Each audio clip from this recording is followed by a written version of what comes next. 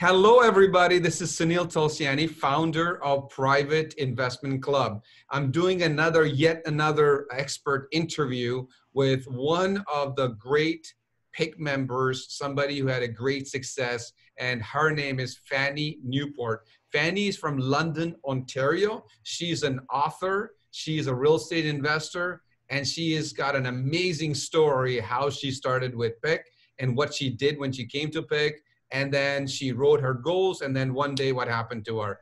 Uh, ladies and gentlemen, Fanny Newport. Fanny, welcome to the show. Thank you, Sunny, for inviting me. I really appreciate it. Thank you. It's an You're honor for me.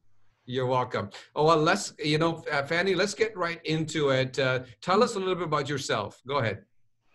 So I'm a real estate investor. I started in uh, 2016. I bought my first property and then the next year, about the second one, the third year, I was stuck. I couldn't, I couldn't keep buying because the bank told me I had enough. Wow. And then that's when I, I was lucky. I discovered that Jack Canfield is coming to Toronto. And I went just there to see Jack Canfield. then I discovered PIC membership. And then I become a PIC member and uh, you you offer me 30 minutes coaching and then i told you what's going on and you told me what to do and i did it. And from that day i purchased two more property with zero down.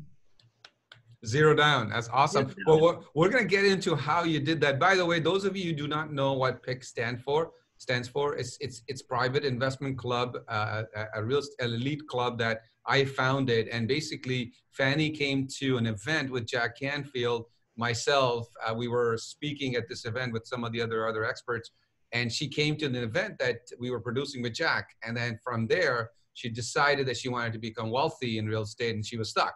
And then you know she wanted to uh, she wanted to uh, make money in real estate, and then ended up becoming a PIC member. So uh, let's talk about a few more things right now before we do this. Um, uh, let's talk about coronavirus because you know there's a lot of people who are worried, they, they are fearful and all that. What's your take on coronavirus? Uh, for me, uh, it doesn't what's going on. What matters is how you react to it. The coronavirus is there. Unfortunately, some people are dying. But what we have to do is to do what they ask us to do, to stay home and do what we want to do from home because now we're so lucky we have technology, we can work from home. So there's no excuse of saying, I'm bored, I don't have anything to do. We can be creative and work from home and keep doing our business. Of course, some business needs uh, uh, people to come in, but like for real estate, you can still investing from home. You can That's talk awesome. to mortgage people, you can look for properties from home. Yeah. Awesome. Um, so from, from a point of view of um, a real estate investor, uh, you just mentioned that you, we can still do it. Uh, during the coronavirus, uh, give us your feedback, your thinking about real estate, where the real estate, uh, should people invest in real estate? Uh, and if so, how do they do invest safely? What's your feedback on that? I think uh, no matter what's going on, people, we always need a shelter people we always need food and shelter. So it, I think real estate we keep going on, but we have to be careful because we don't know what's going on. So what I'm thinking to be careful is uh, not to spend money on unnecessary thing. I think you have to save up some money or have some cash available because maybe at the end there will be more opportunity to buy. Yes, yes, and and, so and, and, and, be ready. Be ready. Be ready. Right. Yeah. Okay. So so in order to be ready, what are a couple of things that one can do during these coronavirus time? And Probably any time, but during mm-hmm. coronavirus time, what could one somebody do right now to prepare if there's an opportunity coming up? So if you you are already a real estate investor, so you know what to do Yes. You just have to raise more money, or have some cash available for you. But if you're a beginner, use this time to learn, to make Mhm. contact. Yeah, now you cannot go to Meetup, but there's so many webinar every single day. Go to them, meet people online, and do joint venture if you don't know how to do, and learn from them. Right, right, right. So, so we talked about when you came in. We talked about you came to uh, one of my events with Jack, uh, and then became a PIC member. And once you became a PIC member, um, we had a session together, and uh, then and I know you have attended a PIC meeting after that as well. Mhm. So, what? Tell us the story. Tell us. Let's say from the time that you became a member Mhm. then you told me a story uh, where you said you know uh, you were at the PIC meeting and then i asked you to do something like write a goal or something and you wrote it. Tell me about that story. Go ahead. Yeah, so on that event with Jack Canfield, there was a mastermind the next day. yes. So on the mastermind, you give us uh, notebooks and you told us to write a goal and the time we want to achieve that goal. And I wrote the goal and they said by December 31st, I want to have uh, real estate with a value of 1 million. I didn't know how to do that. I said, why not? Let me write it. I wrote it down. I didn't get to the goal on December 31st, but I did on uh, January 17th. so you were 17 days late 17 days, but I did it. all right sounds good um, so um, just just remind us what date uh, did you write the goal or do, or do you remember It was June 2nd. 2nd of june 9, Yeah. 20, 2019 Yes, exactly. Yeah. Okay, awesome. So give us um, give us uh, how you because a lot of people keep asking me, Sunil. Mhm. they- They're saying, Sunil, can we still buy properties nothing down? And and of course, I have bought it many many times. Many of my members have bought it many many times, and and all that kind of stuff. And so we want to. I want you to take me through your first deal after you became a member, Mhm. uh, because I, I know you already bought two before, and Mhm. then you, you were stuck, and then now you became a member. So now, tell me about your uh, third deal, I guess, or the first deal as a PIC member. Mhm. Go ahead. So you told me that I can do a joint venture or hard money lenders. So the third one, I went with a joint venture. So that means somebody who has money but doesn't have time to manage or doesn't even want to do anything. And you bring your skills, your expertise, and you do everything, and the person brings your money and you split half. half. Okay, so so let's take this through. Uh, how did you find the deal? Uh, because I, I go to so many meetups and I look on uh, MLS and I look on Kijiji, I'm always looking. I found this one on MLS. Where? MLS, uh, re- realtor.ca. Yeah, yeah. Oh, Realtor.ca. Okay. Yes, that's where I And? find it. And uh, I contact my the person I knew who was interested, and then he he accepted to join me. Okay, so so so take me through. Uh, you found the deal. You did the due diligence, correct? Absolutely, yeah. Yeah. So you found the deal. You did the due diligence, and Mhm. then you have a joint venture partner. Yes. Explain to me how this joint venture worked for you for this property, and and and take us through this. Uh, if somebody who has never done it before, somebody who's sitting there watching, saying, you know what, I, I've never done it. I don't think it's doable. I want I want them to learn. Go ahead, tell me. So because uh, the person already showed me interest, he was Yeah. interested, but he didn't have time. And so when I reach out to him, I say, look, this is a really good property. I know it's a good location and it's in London where I can manage it. And I already have experience. Are you interested in uh, coming with me to buy this property? And uh, he looked at it and he saw it's a nice property and said, yeah. And so far, he's so happy. Every three months, I send him a report to tell him what's going on, what uh, expenses we had, what revenue. He, I keep him informed with what's going on. So he's happy. Okay, so let's talk about the actual. Uh, you you're talking to him. He's interested. So tell us about the setup. How was set up? For example, you know, obviously he brought uh, the the money, and uh, how did the financing work? Uh, how did who got the mortgage and everything? So we have to go to use a lawyer, for sure. Everything has to go through a lawyer. Make sure everybody's safe. Everybody's safe, both sides and the lawyer write down what's going on and what will happen if one wants to get out. He made sure everything is clear before we even do anything. And the person bring the down payment and closing costs. And because I'm the one who get the income and pay expenses, and then I report to him every three months. So who got the mortgage? it's in my name. It's your name. Okay, so let's let's recap this for everybody here. Mm-hmm. Um, there's many ways to do joint ventures. You know, like like for example, I have a I took the course with Robert Allen when I left the police force, 2005, and I would have retired actually as a police officer yesterday. Oh. 30 years, yes. Uh, you know, uh, but the point here is when I took his course, there was a 50 ways to do nothing down, and of course, there's many ways to do joint ventures within those 50 ways. So one of the joint venture ways that Fanny did was she found the deal. The investor who doesn't have the time has the money, which is what we have at Private Investment Club. We have a lot of millionaires and multimillionaires uh, who are investing with each other and doing joint ventures. And so what Fanny did was this person uh, put the down payment and the closing cost. Fanny, was there any expenses for fix-ups? No, really. No, no. it was okay. ready. Yeah.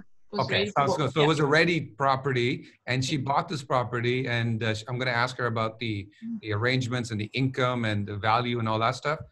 But she buys it, and then somebody comes along and says, "I'll be your down payment partner." So this strategy is called down payment payment partner strategy, mm-hmm. and and and so the down payment partner brings the closing cost, and if there's any repairs, they pay that, they bring that as well, and then the, the down payment as well as closing costs. So mm-hmm. down payment, closing cost, repairs. In this case, there was no repairs.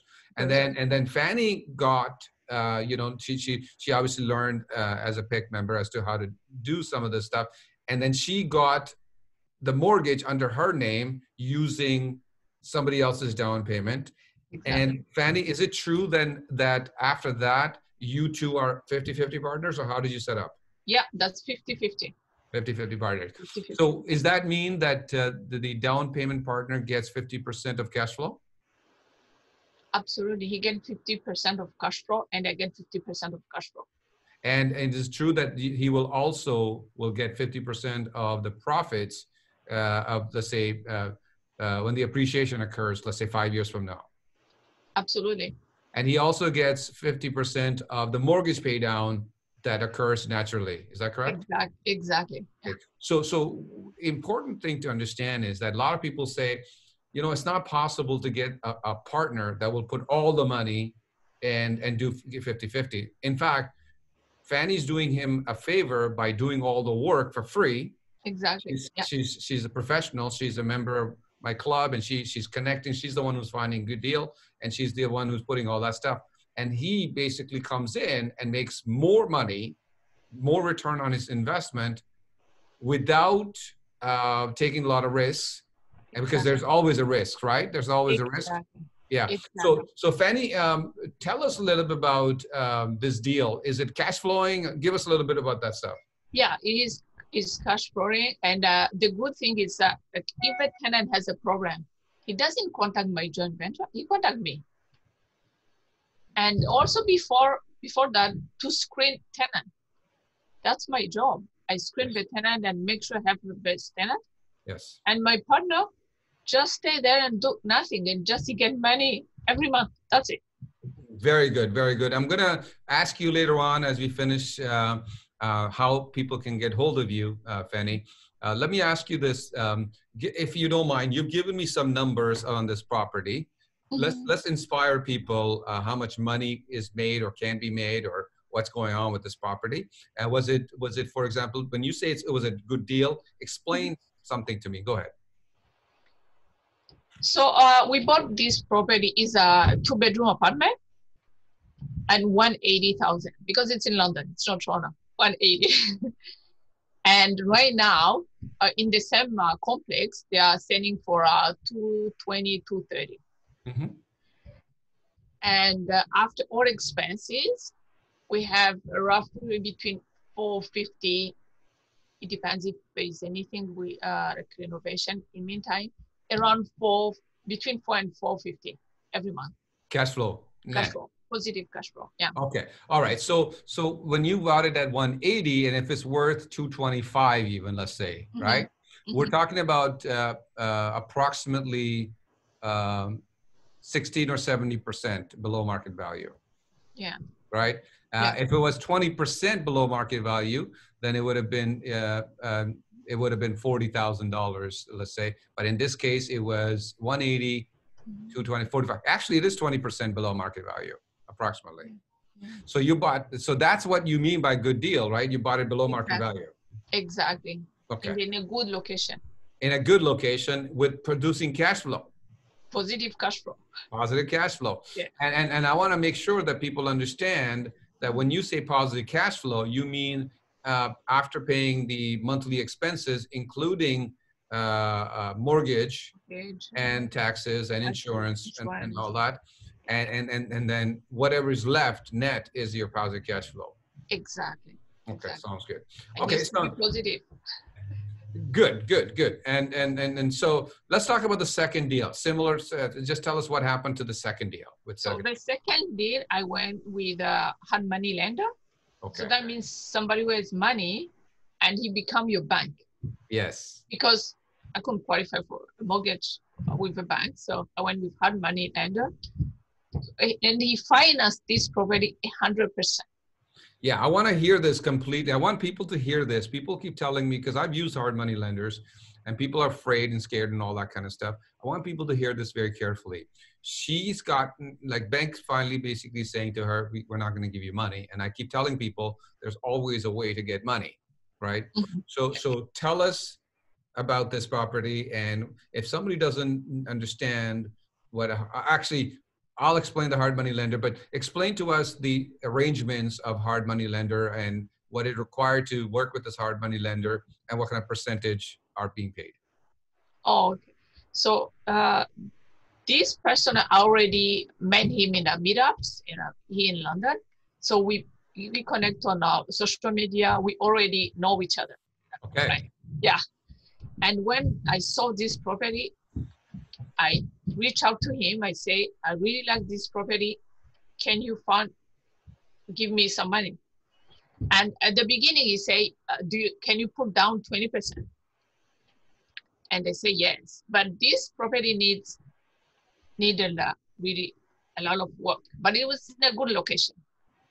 And then because we friend, and he said, you know what? I'm gonna give you a hundred percent. So you can use that down payment for renovation. So perfect.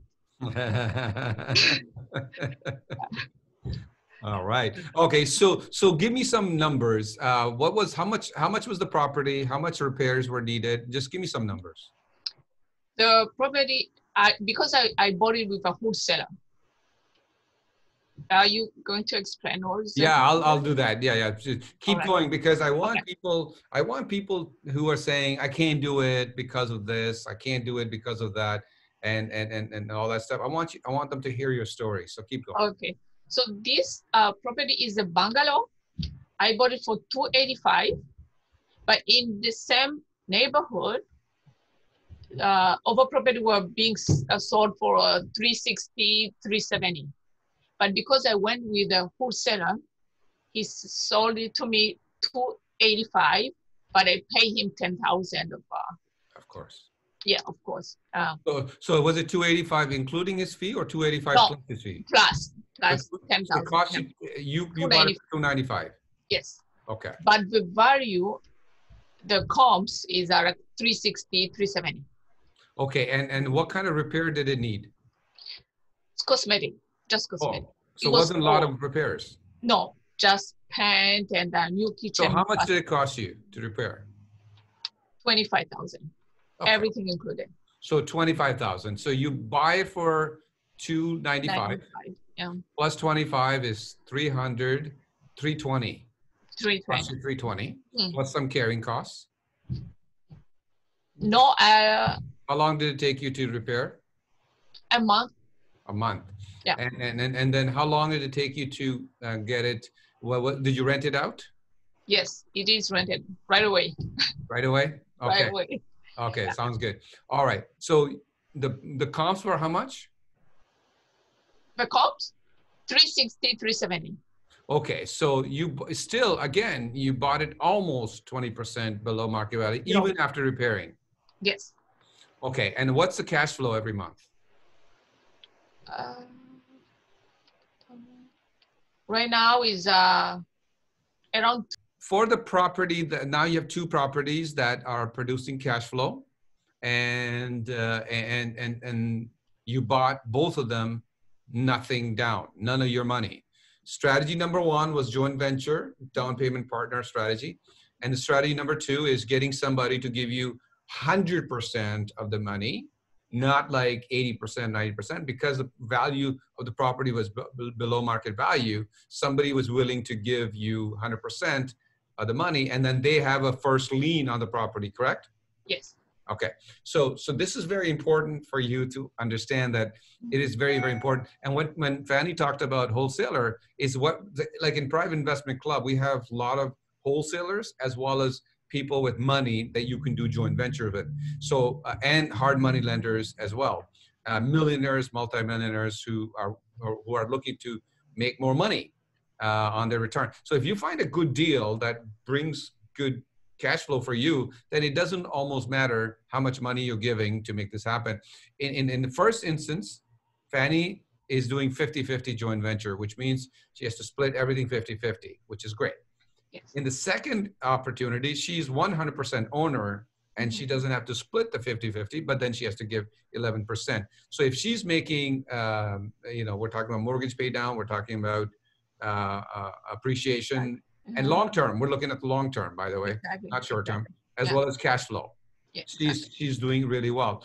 Uh, this this is um, this is fascinating because I've done hundreds of properties doing nothing down. Some of my members have done lots of them, and uh, as Fanny said, upcoming other wholesalers, by the way, are people who can who who find who are good at finding good deals and they wholesale it to you. They they give it to you at a wholesale price, basically.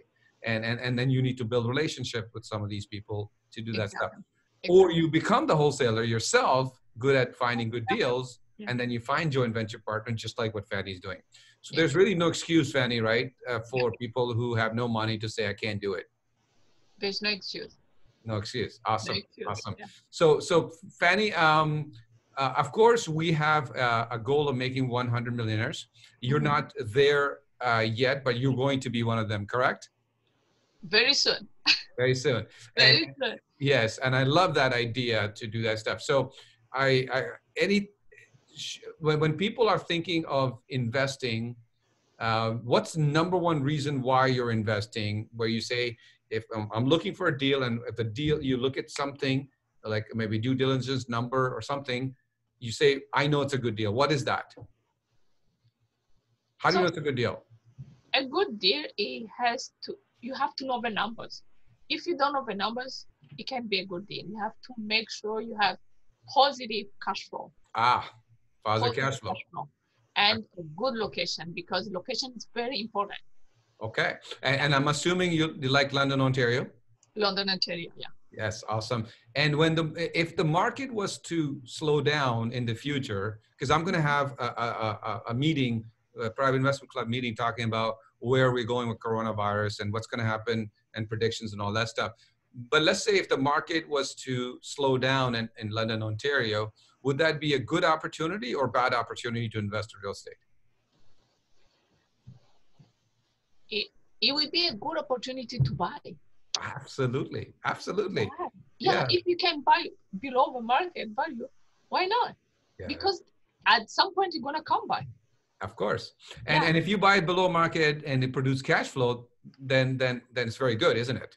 Exactly. Even if the value goes down, you still have cash, uh, positive cash flow. What's the problem? You're gonna Yeah. just wait until it comes back. That's right. So so for people who have uh, or are thinking of investing in the near future, it's a great time to. It could be a great time to invest in real estate if you buy passive cash flow. Exactly. Awesome, awesome. Yeah. All right, sounds good. So, um, tell us how people can get hold of you, Fanny, and then tell us about your company. Okay, I'm on uh, social media Yes, and uh, with the name Green Mind Properties. Green Mind. Green Mind Properties on uh, Instagram, LinkedIn, and Facebook. So you can uh, reach out to me either way, uh, Facebook, Instagram, or LinkedIn. And and I understand you're writing uh, uh, upcoming uh, a best-selling book with Brian Tracy and I, correct? Yes, I did. Yes. Yes, I and sho- did. do you have it? Show us the book. There you go. Secret to Wealth. There you go. Ref number And- two. And and and and let me ask you this: um, for you, what's your plan in the next 24 months uh, for the real estate? What's your plan? How much how much money you want to make? Like, what's your goal? My goal is to become financial free. That means I don't need a nine to five to live. I need, um, my plan is to have enough, uh, my, to increase my portfolio and I don't need a job anymore. Right. And and and uh, do you have a number in mind, like uh, you know, a certain amount of uh, net worth, certain amount of cash flow uh, that you would like to make in next 24 months? My goal is uh, 10,000 a month. 10,000. That's a good starting point, right? Yeah. But you're not going to stop at 10,000, correct? No, I'm not going to stop there because, you know, it's not being greedy. It's even if you have more money, you can help so many people. Yes. you there's so many uh, organization helping uh, like homeless or children so you can help so many people Well, you know, uh, when you were at the last meeting, we uh, we talked about how a private investment club uh, went to India in Yeah. December of 2019, and we did 150 eye surgeries, you know, and and and brought the the gift of eyes, eyesight, Yeah. people, and that's that. Uh, uh, and they were doctors, there was uh, volunteers, there were people who are helping to make this all happen, but all they needed was somebody to come and finance the whole thing, right? And then so our goal was I personally went there, first of all, to make sure that that was happening. And secondly, to experience it myself, to see it, oversee it, and all that stuff. So members of Private Investment Club and us, we got together and we did this 150 surgeries. So the, your point of making lots of money and, and, and, and, and then and giving it to, to the world is, is amazing. yeah but imagine this kid you change their life forever Yes. now we can see Yes. Yes. yeah Well, in India, what they did was, which was interesting, is that they and and, and you know they they basically had uh, a breadwinners, a lot of them who were blind or going blind, uh, or, or or legally blind, and and then so now they, they they can't work and they're at home, and then now somebody else is looking after them, and all that kind of plus their self esteem and all that stuff. So what they did was they, they obviously we india's got 1.4 billion people. So we need more people to to take care of that. So they apply and then basically one of the criteria was of course they pay nothing they, they don't pay for medication they don't pay for checkups they don't pay for pre-checkups during post nothing. But what they did was they picked out all the uh, people that would go out and and then go out and earn for their families. So the, the point was if one person got their eyesight back, they were helping that family, exactly you know, and, Yeah. and then, and, and not only the self-esteem and not only the fact that you, you brought uh, eyesight to that person individually, but then they went out and then they started working and then brought food for their kids and, you know, and, and spouses and wives and, and, and, all, and that's just the way it is. And a lot of them are so poor yeah. uh, that, that, that they're not going to attend uh, my event. They're not going to become members of my club or trainings and all of that because they, they, they're basically struggling to eat. Yeah. And then, and sometimes we need to help those people a lot. absolutely and that we impact the whole community Yes. because if this person now we can go get a job that we make the economy going and the, we, we impact the whole uh, community. Awesome, awesome. So I want to share some uh, books uh, with you guys. Um, one is uh, The uh, Secret to Real Estate Wealth. Uh, this is a book that I wrote, became a bestseller for, the, for, for, the book. And the other one is um, Secret to Wealth. And this is a book where I wrote seven steps to becoming wealthy. And if you, these are all available on Amazon.ca or Amazon.com, depend on where you are right now. And and and and and so main point to understand is that there are some amazing opportunities coming in real estate, and the reason why I do these interviews is because there's so many people watching news, and and a lot of news is all about fear of exactly. that stuff. And yeah. and Fanny, thank you for being the good news. Thank you for being the inspiration to people, and thank you for being the person that says, you know what, I I can do it, and I've done it, mm-hmm. and and and it's it's not just the fact that you're a member of private investment club, and of course I helped you do that kind of stuff, but the fact that you did it is the most important part. And I look forward to having you on my stage one day when you become a millionaire or multimillionaire uh, to have uh, this because that's really my my mission is to make 100 millionaires and multimillionaires. And the upcoming times in the future may be the best time if you know what you're doing if you have educated yourself you're connected with the right people you're connected with people who can find good deals you connect with people who have money joint venture partners and and know how to do it and and and fanny is a great example of how you do this. Uh, and and and so it's not just me who, who's done hundreds of deals, nothing down, and a lot of my members, but it's people who are starting out can do it. And I want you to go out and not allow fear to get in the way of what's happening outside, fear of losing money, fear of this. If your goal is to make lots of money, go mm-hmm. do it. Of course, there's a risk, and yeah. but you can minimize that risk, exactly. and, and you can invest safely. Fanny, thank you for being on the show. We really appreciate you. And if everybody, if you uh, want to get hold of Fanny, uh, Fanny, once again, tell us uh, your how, how uh, what's your company's name? Green Mind Properties at uh, Instagram, Facebook, and LinkedIn. So Green Mind Properties. Green Mind Properties. Okay, sounds good. Thank you very much, everybody. And if you have any questions, go to Private Investment Club com, privateinvestmentclub.com. And also there's a uh, an audiobook that you can have for absolutely uh, zero cost. It's called makeamillion.net. Go to makeamillion.net and you can get download the audiobook. Fanny, thank you for being with us. Thank you so much, Sunny, and keep doing what you're doing. Thank you so much. You're welcome. Take care. Bye-bye. Thank you. Bye-bye.